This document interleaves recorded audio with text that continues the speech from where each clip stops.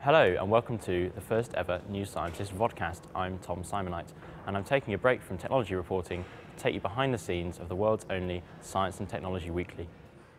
New Scientist publishes the latest news and in-depth features on science, technology and their implications for our world. This week, the magazine celebrated its 50th year in print, as Jeremy Webb, current editor, explains.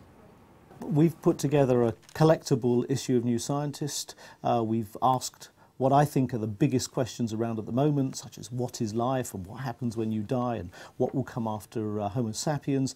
And then we've put around it uh, uh, the best articles from the last 50 years, and we've asked dozens of leading scientists what they think will be the best uh, ideas for the, for the next 50 years. But New Scientist's next 50 years won't just be on paper. Three websites present breaking news and magazine content to the world, and a fourth will soon launch. Web editor Damien Carrington is keen to make the most of the web's potential. Well, obviously, a lot of people are watching video online right now um, because of the better technology and better broadband penetration. Uh, and for us, it will give us a fantastic new way of telling our stories. We write uh, a lot of stories at the moment uh, which have visual elements and which have videos with them.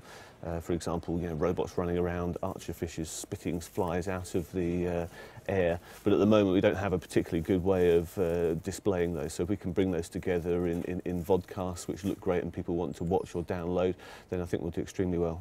The latest addition to New Scientist Online is the new Environment site. My name is Cathy Tollet and I am the web designer for newscientist.com.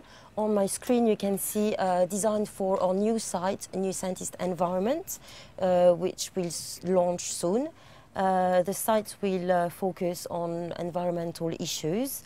The design consists of uh, a main navigation to the left with uh, a cover of this week's magazine and links to the main and uh, daughter sites.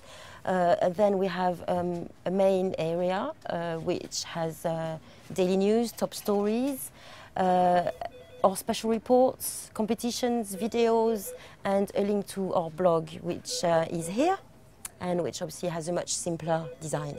And that concludes the first ever New Scientist vodcast. Thanks for watching and join us again soon.